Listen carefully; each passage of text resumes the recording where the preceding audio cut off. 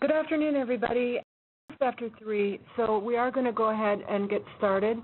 Um, my name is Kimberly Miller, Policy Officer with the HIV Medicine Association, and I want to welcome everyone and thank you for joining us for today's HIVMA webinar on Accountable Care Organizations, or ACOs, and what HIV providers need to know. Uh, this webinar is being recorded and will be archived on the HIVMA website. And in addition, an issue brief is being released in conjunction with the webinar that will also be available on the HIVMA website. Uh, we will be in lecture mode during the presentations, um, and during that, uh, so the lines will be muted except for the presenters until the Q&A discussion begins. You may submit questions at any time during the webinar using the questions feature or over the phone. Lines will be unmuted during questions and answers. When asking questions, we ask that you please identify yourself and where you are calling from.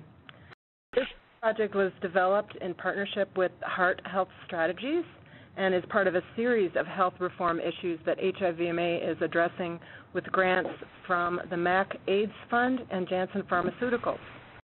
So just quickly, an overview of what we're going to be covering today. Um, our colleagues Shana Christop and Emily Graham from Hart Health Strategies will go over some ACO basics, and we'll then have our featured speaker, Dr. Stephen Boswell, MD, President and CEO of Fenway Health, is also an HIVMA board member who will present on his experience with navigating ACOs as an HIV provider. And we will then go to some Q&A. So with that, I will let, turn it over to our Hart Health Strategies colleagues. Thank you, Shana and Emily. Great. Thank you. Happy to chat with you a little bit today about accountable care organizations. As I hope you know, accountable care organizations are a group of doctors, hospitals, and other healthcare providers who basically come together voluntarily to help organize coordinated, high quality care to Medicare beneficiaries. The hope is that this process of integrated care will help control costs and meet quality care standards. Um, this program or this pilot, in many respects, was established through the Patient Protection Affordable Care Act, also known as the ACA, and it's managed by CMS. Um, participants in the ACO include physicians, many of you on the line probably, nurse practitioners, other practitioners, physician assistants, hospitals, um, professionals in group practice arrangements. So there's a variety of different individuals who can participate and provide integrated care. It matters mostly to CMS now that they have a, a group of great providers ready to sort of assist, as well as they must have 5,000 Medicare beneficiaries, fee-for-service patients that are eligible to do that. And when you form an ACO, you have to agree to participate um, for at least three years. Next slide. One of the key questions that you have to sort of address front for joining the ACO is whether or not you're a one-sided or two-sided risk model. Because ACOs are eligible for bonuses if they meet certain quality performances, and that amount we'll kind of go over a little bit, is calculated based on your overall cost and what it should have been compared to what the Medicare fee-for-service payments might have been under if, if those patients had not been working with you. Um, and then you share in a portion of the savings. You don't get all of the savings for what you end up providing. It's, it's a portion of those savings. That's why it's called shared savings. CMS keeps some of it, and the ACO provider should receive the other portion of it. So under a one-sided model, you receive a financial reward of 50% of the share of savings, but there is no risk involved in that. So if you overspend in that situation, you're not required to pay back during that. This one-sided model is only available during your initial three-year agreement. Um, subsequent agreements require you to move to the two-sided model. And the two-sided model, you do receive more of the the savings. You get 60% of the savings, up to 60% of the savings. But the issue is is that you also share in the losses. So if you end up having losses in the part of the process, you would have to pay back those losses to CMS. Let's kind of go on that next slide, please. So looking at the one-sided model, we're going to talk about some term, terminology and kind of go through some numbers to help it make it a little bit easier to understand. So your specific expenditure benchmark is what CMS would expected you to have spent on those Medicare beneficiaries for that certain period of time. So if that was at $1,000 and they had a minimum savings threshold of $980, so this is what you have to save. There's CMS has decided that there is variability in what you might spend and how much money you might save. So unless you go past this threshold, you're not eligible savings. So, so if you spent $995, while that would have been less savings, uh, would have been savings. It wouldn't have been enough savings to actually trigger payment back from CMS. But if you end up doing an ACO, if you actually spent $970 on those beneficiaries during that period of time, you would receive 50% of the difference between the total amount they expected you to spend and what you actually spent. So a total of 15 dollars in this example. So it shows you kind of how the numbers kind of come together, how CMS makes those calculations. So as we discussed the two-sided model, you can lose some or you can win some. So there's an example here that shows if you have an $800 benchmark and you have a minimum loss threshold of $816 and you spent more than that at $820, again, you would actually owe CMS um, uh, at, at $12, depending on your quality measures, would have to go back to CMS because you spent more than what they expected you to spend. Um, and then the same thing sort of with looking at that if you have a savings threshold, some additional numbers you can see you can both receive bonuses as well as losses when it comes to those models. So it's really key, and, part of this is understanding where those benchmarks come from, um, and because obviously they're key to figuring out whether or not you save or lose. And one of those key issues is CMS established those benchmarks um, based on Medicare expenditures on per capita Part A and B costs for beneficiaries assigned to your ACO, and the three years subsequent to your agreement. So it's before they start working with the ACO, what did they spend on that? And then they basically sort of project forward as to what they think, you know, healthcare costs have gone up, so therefore they don't expect the cost to stay stagnant, but what that means looking forward. The ACO has no real input into that benchmark. That is something that CMS um, sort of develops in of them by themselves. And so we want to make sure you understand that there's very much risk inherent in that benchmark, and that's something you need to sort of kind of think about as you're sort of progressing into that. And that's particularly important even with CMS's information has shown a lot of statistical uncertainty with establishing those benchmarks. Um, in particular, it's highlighted that although CMS requires you to have at least 5,000 beneficiaries, um, 5,000 beneficiaries provides you with quite a bit of variability. Um, you know, there's statistical probability that about 25% you would receive savings or losses irrespective of what you end up doing. And it's actually more like 50,000 or 500,000 patients that you end up reducing that variability enough to where it's there. So just highlight some of the issues that, you know, providers may be facing is kind of looking at what those benchmarks look like and so forth. And now I'm going to turn it over to Emily um, to discuss additional issues with respect to ACOs. Thanks so much, Shanna. Hi, and welcome everybody. So one of the um, other big issues with respect to accountable care organizations, particularly for specialty providers, has been how beneficiaries are assigned to the accountable care organization. Um, at this time, um, CMS is using what is known as a two-step uh, plurality of care model, in which um, the first step they assign a beneficiary to an ACO if the beneficiary receives a plurality of his or her primary care services from primary care physicians within the within the ACO. And primary care physicians are very specifically defined as those that have one of four specialty designations. It can be an internal medicine specialist, a general practitioner, a family practitioner, or a geriatric medicine um, provider. The second step of assignment considers beneficiaries who have not had a primary care service, which is an evaluation and management code or an office visit code, furnished by any primary care physician as defined. Um, what they will do next is they will look at all the other providers, which are going to be specialty providers, and they will make their assignments to that accountable care organization based on primary care services provided by specialty clinicians. This has been a significant concern for a number of specialty providers um, because of the fact that there are some exclusivity issues that are related to how beneficiaries are signed. But we'll get into that in just a few a few slides ahead. So with regard to quality measurement, this is another key component to accountable care organizations. And CMS um, expects ACOs not only to reduce costs, but also to significantly improve quality. And so what they've done is they have assigned um, 33 specific measures um, that are currently being used in other programs, but there are 33 measures that accountable care organizations are required to report on at 100%. And those quality measures cover a variety of different domains. So there are um, quality metrics that are related to patient and caregiver experience. There are seven of those, and those measures come from the CG CAPS survey. Um, there are also care coordination and patient safety measures. There are approximately six of those. In addition, um, there are measures that are focused on preventive care. And last but not least, there are measures that are related to certain at risk populations. And right now, those at risk populations um, include those patients with diabetes, hypertension, heart failure, coronary artery disease, and, and um, one other um, ischemic vascular disease. Of course, the only way an accountable care organization is going to be able to be successful is if they have enough robust data to help them better understand their population and what their providers are doing and how to um, change those behaviors to the extent that they are costing the program more money and then, of course, causing the ACO to lose out on potential savings. And so data sharing um, occurs at many different intervals within that three-year agreement period.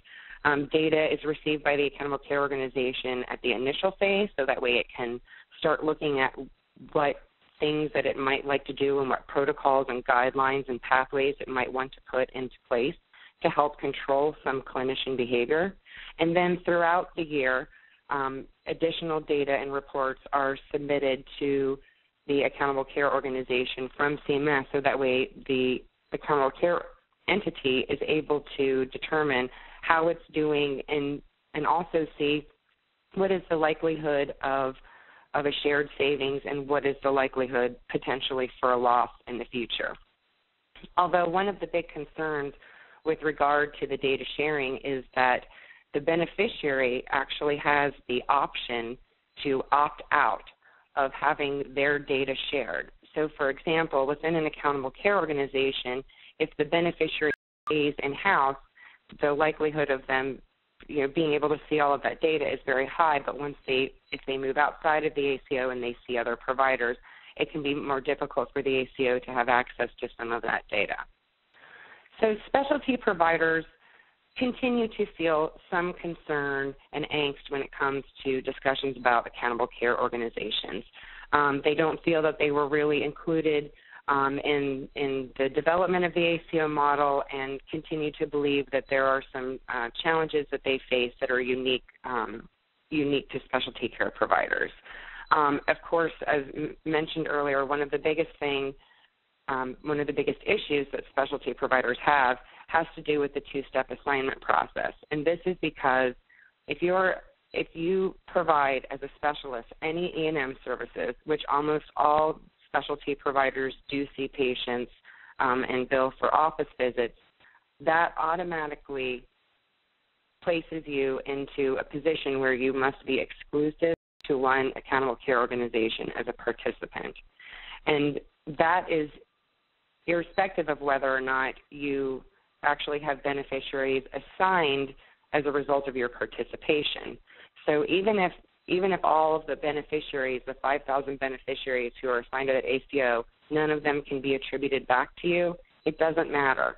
As long as you are billing office visits and you have agreed to participate in that ACO, you are immediately exclusive to that ACO.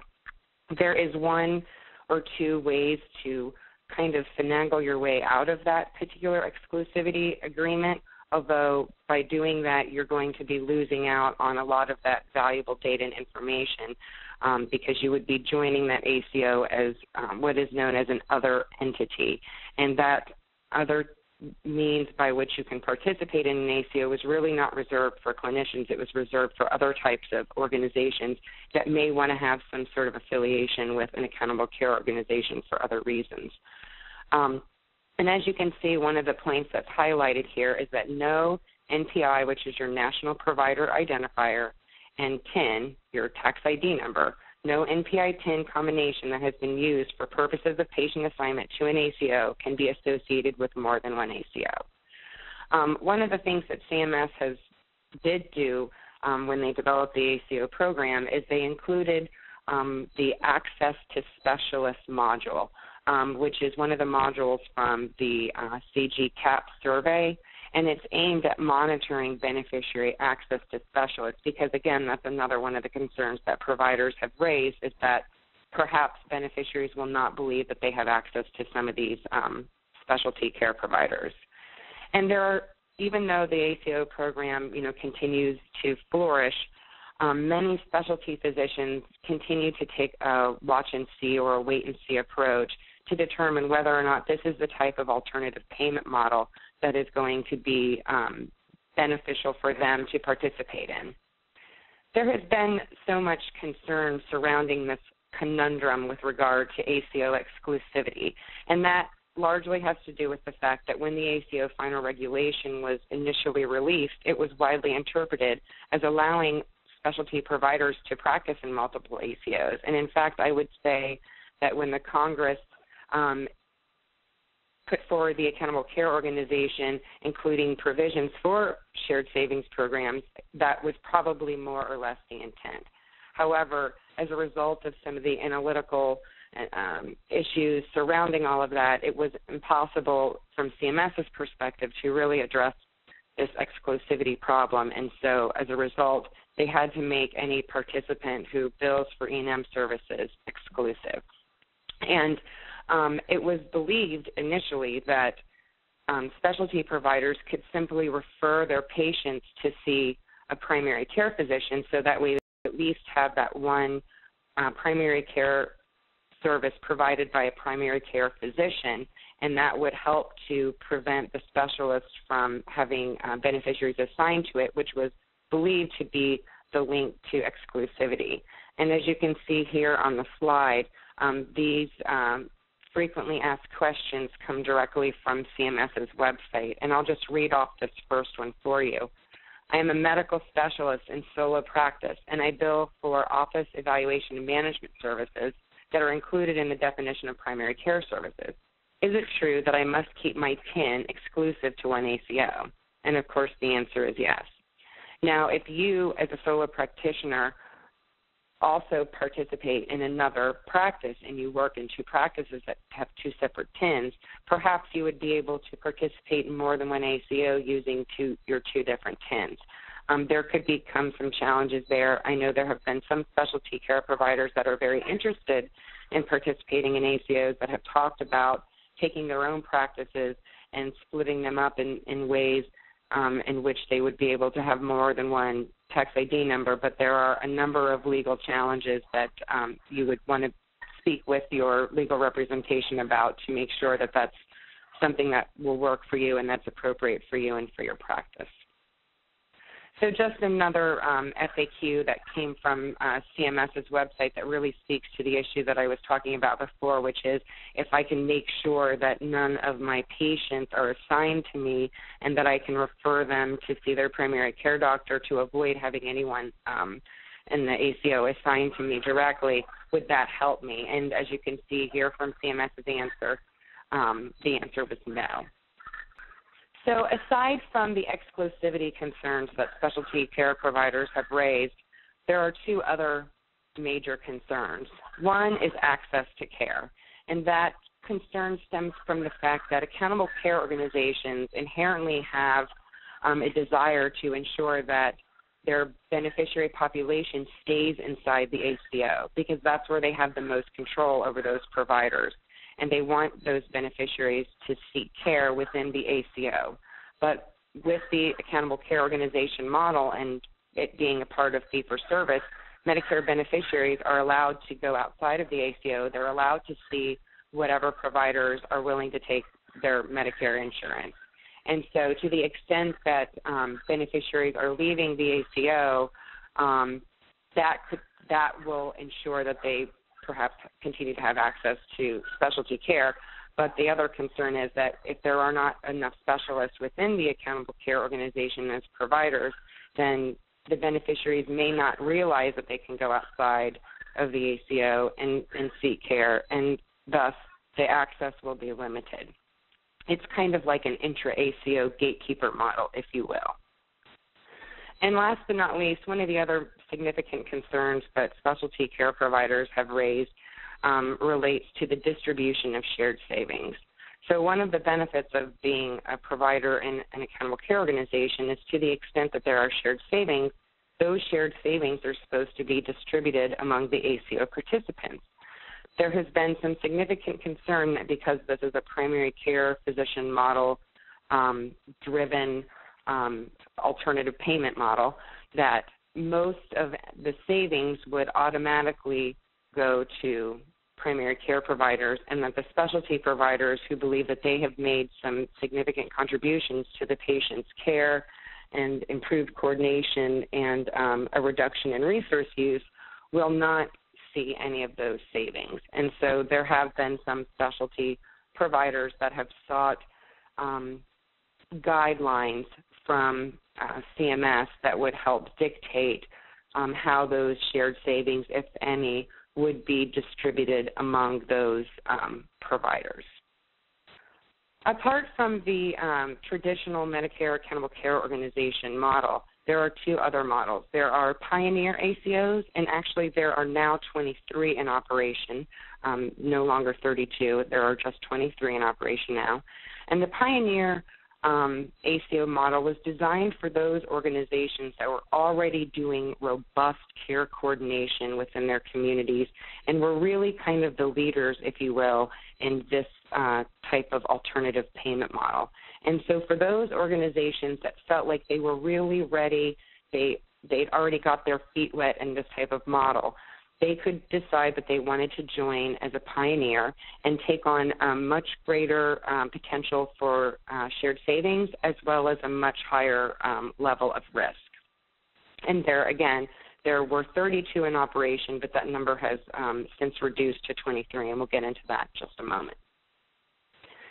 Um, in addition, there is another another um, ACO model, which is the advanced payment model, and this is for those groups that, um, and particularly in the rural area, that believed that they were ready to take on um, some risk and potentially receive some shared savings, but they didn't have the capital in order to to to start up an accountable care organization. Because as you can imagine, there is a great need for strong infrastructure, um, particularly when it comes to um, to uh, health IT and, and data management and so on. And so there is this other model that would provide some additional financial support um, up front for those um, those groups that are that are ready to, to take on some shared savings and potential risk. So thinking about the future of accountable care organizations, um, I would say that it continues to be important to watch the pioneer ACOs and to see what's happening with respect to them. Um, in uh, February of 2013, um, 30, the 32 pioneers that had been in existence at that time were very concerned about some aspects of their model. Um, some of those concerns related to insufficient data for the quality measures, um, some of the benchmarks, and the fact that there were some Medicare Advantage data being used in setting those benchmarks. Um, on the whole, CMS rejected much of the pioneers' concerns, although they have later come out and made some modifications to the ACO program um, in order to alleviate some of those concerns. Um, but unfortunately, um, because of these significant challenges, there were nine ACOs that decided to drop out of the Pioneer program. There were a few that decided they wanted to continue to be ACOs, but they wanted to move into the traditional shared savings program ACO model from the Pioneer. And then there were some others that just completely um, fell apart and decided they didn't want to be um, an accountable care organization at all. Um, we know that um, CMS is planning to come out with some additional uh, regulations that are going to modify the ACO program, not only on the shared savings side, but also for the pioneers. Um, and we anticipate that they're going to address a number of the concerns that we have um, shared with you today with respect to the analytics and the size of um, accountable care organizations and what that means in terms of the um, uncertainty in terms of who's going to get uh, a shared saving and who's going to be penalized, perhaps unfairly, um, the exclusivity issue, um, the access to care issue, and the distribution of shared savings issue. In fact, there is a regulation that is sitting right now um, at the um, Office of Management and Budget um, waiting for review, and hopefully it will be released in the next um, month or so. Um, in terms of, of physicians and what they should be doing when it comes to their participation in ACOs, um, we would tell you that your best bet is to closely review those ACO agreements and to look at some of the issues that we've discussed with you today and to make sure that you're talking with your Medicare beneficiaries about accountable care organizations, whether they're in an ACO or not, making sure that they're aware of the, the benefits to belonging to an ACO, um, ensuring that they recognize that they're able to continue to see you if you are not part of an ACO, um, that care um, continue to be um, had outside of that accountable care organization. So just a, a few other um, statistics. Um, there are um, approximately 360 um, ACOs right now covering um, over 5 million beneficiaries, and those statistics are as of uh, January of 2014. Um, the average ACO startup costs are about 1.7 million, and and of the 114 organizations that formed an ACO in 2012, uh, slightly more than half did not reduce health spending below targets. Um, 29 ACOs did reduce spending enough to share in the savings, while the rest only marginally slowed health spending. Um, ACOs brought $128 million to the Medicare Program Trust Fund, which is a plus, a plus, and ACOs received approximately $126 million in shared savings. I'll just point out one other um, issue that's been raised by the Medicare Payment Advisory Commission, which is a, an organization that makes recommendations to the Congress on Medicare payment policy. And one of the things that they have said about accountable care organizations, because they've been very strong proponents of this potential model, but they have raised some concerns about how sustainable is an accountable care organization. Once you've addressed all of the low hanging fruit, how do you continue to achieve savings um, and reduce spending um, without, for lack of a better example, cutting into the meat and going into the bone. Um, so, just a couple of things for you um, to be thinking about as you are contemplating your um, engagement and involvement in accountable care organizations. And quite frankly, some of these same types of concerns um, may also emerge in other alternative payment models that you may be considering either at the federal level or at the commercial level. And with that, I'll turn it over to Dr. Stephen Boswell. Hi, everyone. Um, welcome. Um, I think I'll start by telling you a little bit about uh, the organization um, that uh, I'm part of and how it fits into the ACO that, that we have joined. Uh, we're a federally qualified uh, health center uh, we care for roughly 25,000 patients, about 2,000 patients with HIV infection. Um, we uh, have roughly 400 employees, uh, roughly a $75 million uh, budget.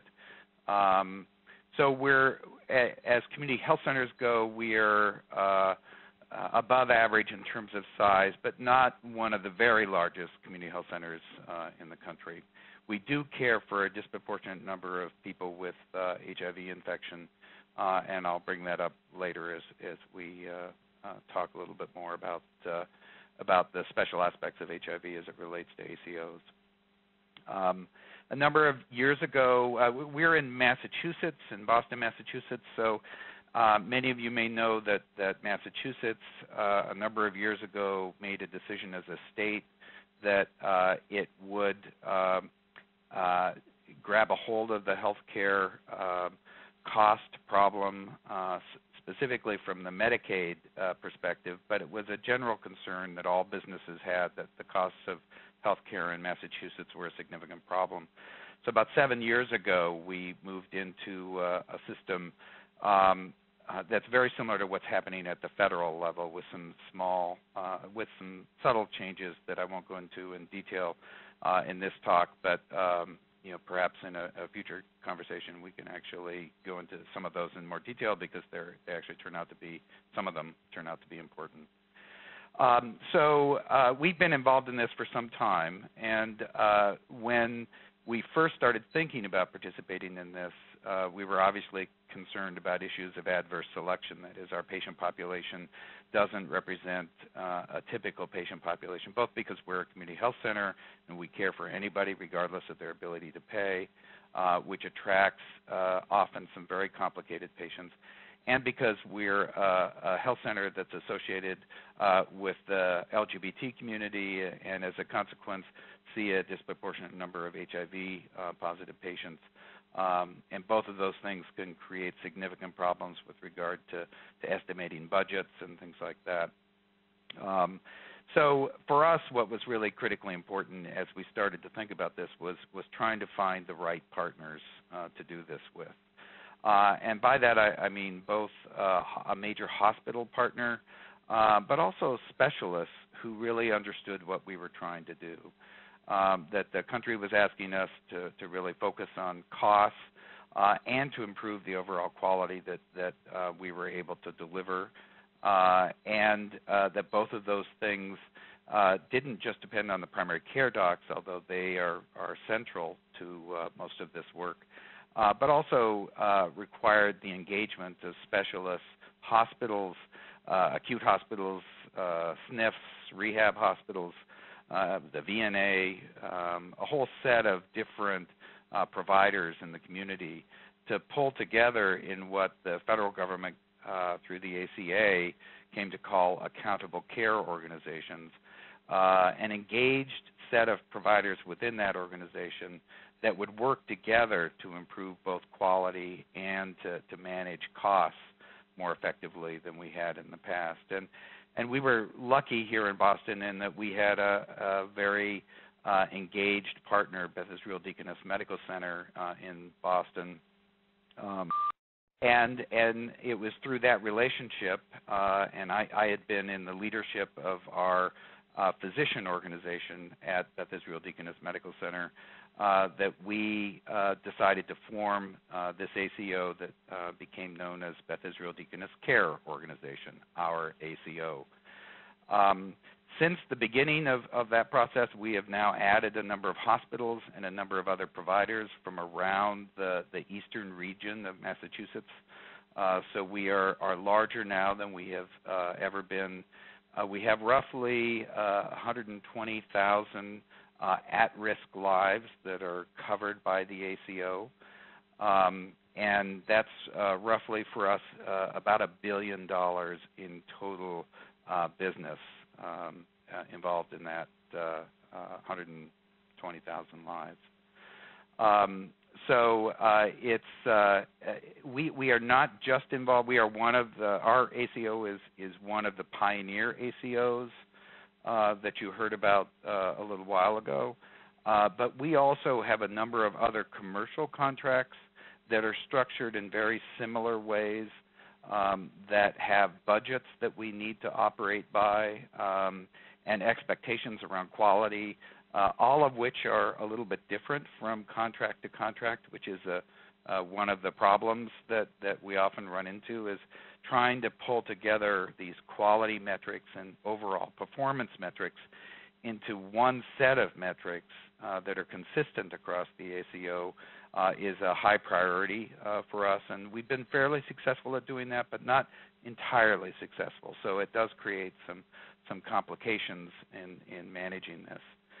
Our ACO has uh, roughly this year a budget, uh, an operating budget of about $20 million. Uh, roughly 100 staff uh, are involved in the ACO um, in all sorts of, of different uh, capacities. Uh, and I won't go into all the details there, but it's a fairly complicated organization. So uh, the one thing I would say about ACOs in general is is that they need to be of sufficient size in terms of the total number of lives that are covered in an ACO to really make the investment in infrastructure that's necessary to be successful make sense.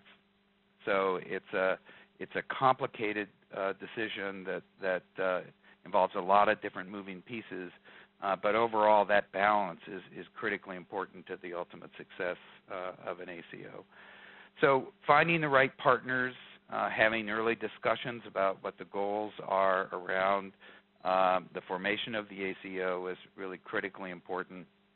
Um, and then I'd say, you know, really remaining involved in the governance and operations of the ACO is also critically important. So, so I sit, still sit on the, the board of directors of the physician organization, uh, but I also sit on the board of directors of, uh, on the contracts and payments committee of the uh, uh physician organization and the ACO. Um, and that's for those who, who have that interest and skill, it's a critically important uh, area for you to remain engaged. Um, in part because there, there are many different interests that often sit around uh, the table where these uh, contracts, uh, the outlines for these contracts are really created. Um, and if you're not sitting at the table, uh, an old friend of mine used to say, you're often on the menu. So uh, being present and engaged in that process is critically important.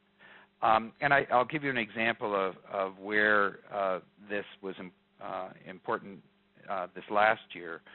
Um, many of you know that, that hepatitis C is undergoing uh, just revolutionary changes um, in terms of, of just uh, great improvements of care. Um, and we're in the middle of that right now. Um, we negotiated a number of our contracts, commercial uh, and in, in, fact the uh, Pioneer ACO contracts, a number of years ago before um, it was clear that these treatments were going to be as successful as they now clearly have become, uh, and before we knew what the cost of those treatments would be.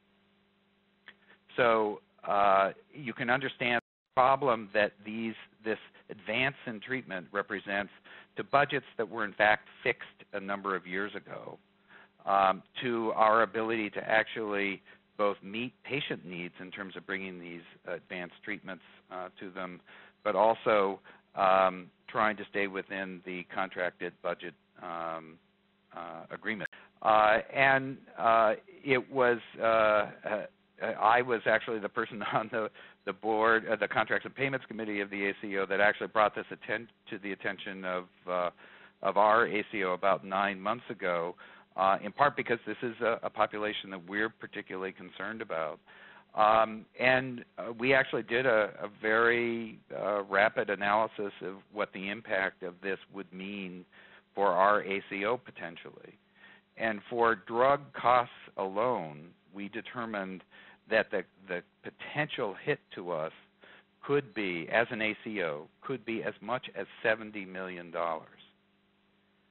So uh, recognizing that made us immediately move to uh, our partners, our uh, insurers, basically, and uh, and start negotiations about how we were going to manage this. And and I don't want to imply that we are uh, entirely finished uh, trying to manage this issue, but we have gone a long way over the last six months in, in working out how the insurance companies and uh, our ACO would manage these costs.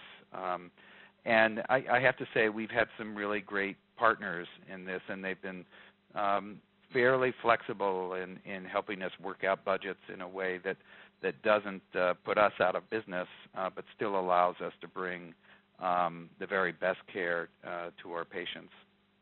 So, staying involved in the governance and operations of the ACO is critically important. Um, and then finally, I would say that it's it's very important to remain committed uh, to the success of the ACO, and and what that means for a place like uh, Fenway Health. Um, is that that it is a priority that our um, all of us as clinicians are evaluated on our ability to deliver uh, the highest quality care, uh, which we measure, uh, and to, to stay within budgets uh, that have been set up um, to manage that care.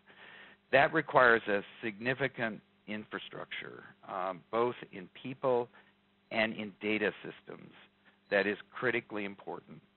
Some of the data systems that are most important are obviously the, the electronic medical record. The movement to EMRs over the last um, you know five years or so in the United States um, has has been a central part of of the idea of moving uh, all of us to new modes of payment, um, so that we can capture data that actually allows us to measure what we're doing, uh, determine what works, what doesn't work, and to measure the overall quality of care that we're providing. So these data systems, starting with an EMR, are critically important. But the EMRs have to be structured in such, such a way that they can actually um, measure the the variables that you will be assessed by, and that uh, sounds trivial in some ways, but um, I can assure you, having done this now for for many years, it, it, it is it is often very difficult to make sure that all of those data are in place and and being collected on an ongoing basis uh, in a way that allows you to uh, to show the, the good work that you're you're doing. Uh, and in, in, addition to, to the central role of the electronic medical record, a, a lot of the information that you get uh, for both quality and for budgets really comes from claims um, that are still used in the background to track overall costs of care. And those those claims-based data, those data actually have to be fed back to clinicians uh, in addition to the data that clinicians have from the electronic medical record in a way that's usable, digestible, uh, and, and um, points clinicians very quickly to action items that they can address um, that will improve their performance. Um, this is a very big task.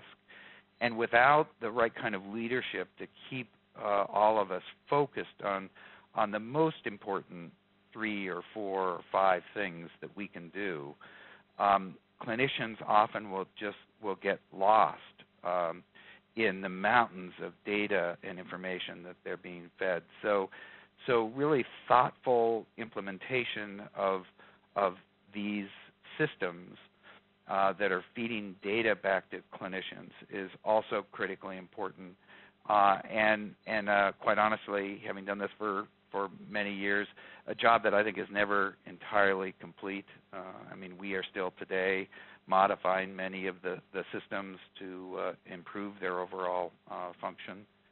Um, but I think that's what I would say is is that that if you're going to be successful at this, you really have to commit yourself to it. Um, you have to get all of your clinicians engaged, and you have to be um, focused on on making sure that that we as clinicians don't become frustrated uh, and throw up our hands because the systems don't work, the data are wrong, uh, any of a number of different excuses that that any of us might come up with uh, if we're not happy with the results. It's it's really critically important that the implementation be done in a thoughtful way.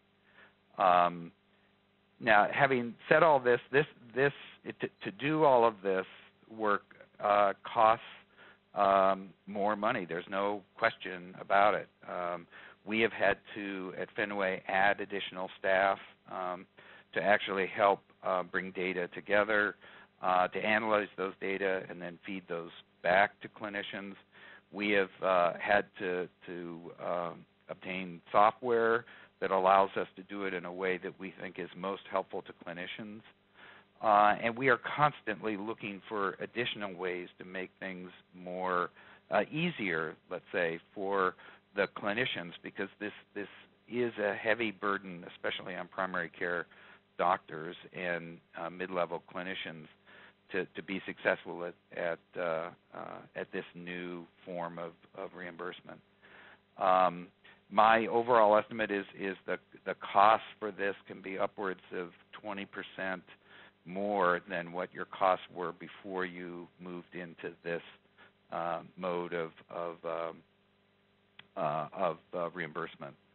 It's it's not a trivial uh, issue, and uh, within our ACO, we pay for these costs through what are called withholds, um, and those withholds are taken not just from uh, primary care but from um, the specialists uh, and the hospitals all contribute to the the uh, ACO as well.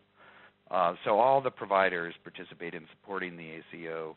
In our ACO, we have arranged it so if there is any benefit, that benefit comes back primarily to primary care clinicians. Um, and the reason for that is is the recognition that these costs to do this kind of an operation are simply uh, added to the to costs uh, that we were uh, incurring before in terms of caring for patients, and that that primary care um, and already underpaid uh, specialty um, uh, would have a hard time managing those additional costs if, if these dollars didn't flow back. So, um, so I hope that gives you a, a sense of, of, how we function. We we have done uh, relatively well um, in in these uh, uh contracts. Uh, I will tell you, we've we've now been managing these contracts for about three years. Um, it has gotten harder and harder to to manage uh, these costs as, as other providers are also starting to engage in improving the quality of their care and, and decreasing their costs. So um, that is a, a constant challenge. It, it's not that you, once you're successful, you're guaranteed to be successful uh, into the future. Um, you, you basically have to continually improve what you're doing. Um, and I, I believe ultimately we'll have to structure slightly different uh, contracts uh, as we move forward. We have structured contracts in our commercial area, for example, that that really focus on uh, what's referred to as the Eastern Network Trend, which refers to the trend cost, the cost trends for the providers in the eastern part of Massachusetts. And if we perform better than the average by a certain amount, we're generally successful. And and because we've had such a, an engaged ACO, we, we have generally performed um, much better than the average and have done relatively well. And I, I believe in the Pioneer ACO, we just got data for last year, we were the second best performing uh, Pioneer ACO in the country. So, um, so you can be successful at this, but it requires real engagement, careful thought, um, a lot of, of uh, a careful attention to the load that this puts on on uh, primary care clinicians uh, and thoughtful um, engagement around how to to try to minimize uh, that additional work. So with that, um, I'm uh, um, open to questions. I think we're going to have questions now. Yes, great. Thank you so much, Dr. Boswell, and also to Emily and Shana. Uh, we will now uh, open the floor, uh, unmute the lines, and please, if you have a question, uh, if you can identify yourself and where you're calling from, and we'll be pleased to take your questions. Hi, this is Andrea Weddle with HIVMA. I, will kick off the questions. Um, Dr. Boswell, what has been the patient experience of your involvement with the ACOs? Have they um, been able to stay with their providers, and are they aware that you are participating in the ACO? Um, some of the patients are uh, aware that that uh, we're in uh, in an ACO. Uh, it depends a, a, little bit on the in, uh, particular insurance product, and in general, it's a. Uh, I, I have generally found patients to be um, not as engaged in this pro- process overall as the clinicians are. Um, and in, in general, we we don't find a whole lot of change. If if there are some changes, it's it's actually that certain things are getting done on a very regular basis now that that weren't done as regularly previously. Um, we've developed systems here, for example, uh, for using iPads to assess uh, uh, depression, for example, um, and we have um, um systems that operate in the background to determine how frequently they need to, to be done. Um, these kinds of systems now are, are new to patients, and uh, we found them generally uh, patients to be very engaged in, in this process, and they, they like the new technology. Um, but but patients are not as engaged, and and they're often uh, unaware that they're even in this kind of a system. And from the standpoint of, of Medicare in particular, CMS has structured this uh, their ACO model in such a way that as to minimize the effect it really has on patients themselves. Patients that can go anywhere for their care, uh, which is often a, a problem uh, for uh, uh, for the ACO itself, because uh, the minute a patient steps out of your ACO, you lose control of those costs and and often have to pay charges at other ACOs that are much higher than what your own would be. That's really helpful. This is Kim with HIVMA. I was also wondering, those that 20% cost increase that you would assume over the old way of doing business, um, unless you're one of those that um, took an advance payment from CMS, was that difficult to manage in the beginning? Or, I mean, you mentioned about these withholds. Um, that you used over time. That sounds like really. Is that something that you came up with um, as an ACO on your own, or how did you manage this these costs in the beginning? Well, we we did come up with that as the only option for us moving forward, and it was critically important to us that that we actually spread those costs over all of the oh. providers involved. Okay. So yeah, so we we decide we made a decision up front that we would uh, we would take these withholds uh, from all the clinicians, basically all the people who build on the budget. Um, and that that if we were successful, um, people would get their withholds back, and the the surpluses would go to the primary care clinicians to help support the infrastructure that they'd built. Um, and then there's, you know, for us, roughly a $20 million central office uh, infrastructure that we have to support as well. Wow. And uh, so, do you see, Steve, in the um, within this model between the primary care providers? Because I understand it's very, you know, primary care provider, but uh, are there tensions between the specialists and the primary care providers, or you know? I, Absolutely, absolutely. Um, there are tensions across the board between the hospitals, the uh, everyone who participates. Um, uh, you know, has has their own uh, area that they need to defend, and um, and the the two groups that that quite honestly feel often the most put upon uh, are the hospital uh, and specialists.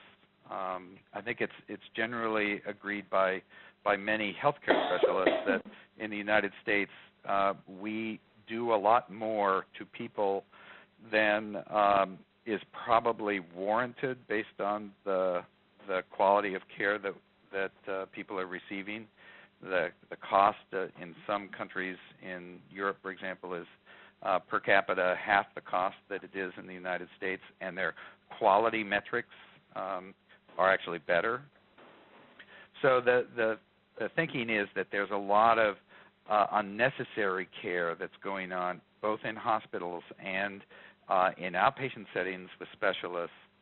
Um, and the, the trick here is to really identify what is the unnecessary care and how do we ring it in because uh, specialists uh, in these models are often um, uh, still operating at a fee-for-service basis. That is, the more they do, the more they, uh, you know, are paid. Uh, and as a consequence, um, that you need to find a specialist partner who gets what you're trying to do, and in exchange for using them um, preferentially in your referrals, uh, is willing to work with you uh, in a way t- that allows you to improve those quality metrics and and um, and keep costs under control. Um, and not all specialists are fully engaged in in that process, but they are out there. And uh, so uh, this year, one of the things that we have started to do is is actually to rate specialists. So our primary care clinicians get together on a quarterly basis and review in a very structured way the performance of specialists in our ACO, and we limit the number of specialists that we refer to based on those assessments.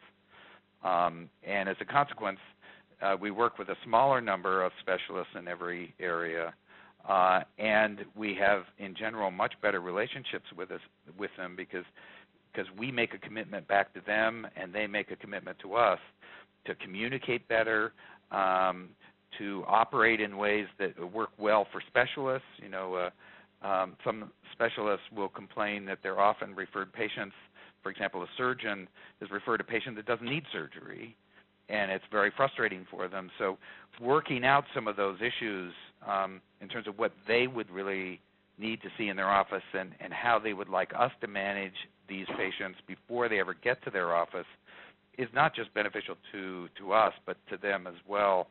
So finding those specialists who are really willing to work with you in that way is critically important to the success of these ACOs. Okay, well, thank you, Steve. That's super, super informative. And I just wanted to check with the, the group. Does anyone else have a question? We're coming close to closing time. Okay, well, thank you, Steve, Shana, and Emily for very informative presentations. Um, and as I mentioned, these this will go online um, along with the issue brief. We truly appreciate your participation and thank you for joining us today. We look forward to following this topic um, as it evolves in the future. Thanks very much, everyone. Have a great day.